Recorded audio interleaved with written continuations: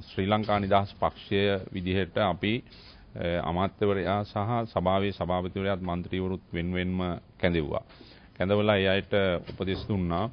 ඒ සෑම කෙනෙකුටම රටේ තියෙන නීතියක් අනුව කටයුතු කිරීමේ අයිතිය තියෙනවා.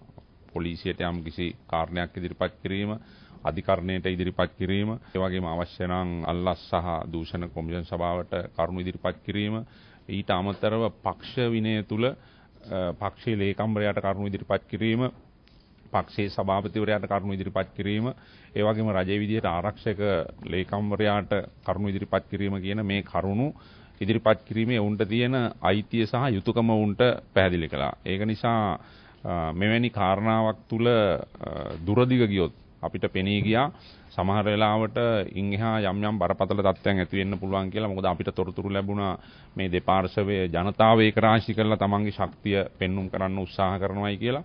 ඒ නිසා අපි දෙපාර්ශවයටම උපදෙස් දුන්නා ඊටාත්ම දැඩි ලෙස පළවෙනි කාරණය තමයි මේ කාරණය සම්බන්ධයෙන් මාධ්‍ය තුල පෙනී නොසිටිය යුතුයි කියන එක. ප්‍රධාන වශයෙන්ම ශ්‍රී ලංකා නිදහස් පක්ෂයේ සමාජිකින් විදියට ඔවුන්ගේ හැසිරීම තුල යම්කිසි ප්‍රචණ්ඩත්වයක් ඇති වුණොත් ඒවා වළක්වා ගැනීම සඳහා පොලිසියේ ජනතාවගේ යහපත සඳහා සාමය සඳහා ප්‍රධාන වශයෙන්ම ඔවුන්ට කටයුතු කළ යුතුයි කියලා අපි දැඩි ලෙස උපදෙස් දුන්නා. ඒ අනුව අපි අනුගමනය කරන්නේ ඇමතිවරයා සම්බන්ධයෙන්ුත් සභාවේ සභාපතිවරයා සහ മന്ത്രിවරයා සම්බන්ධයෙන්ුත් එකම ප්‍රතිපත්තියක් අපි පක්ෂයක් සහ රජයක් විදියට අනුගමනය කරන්නේ.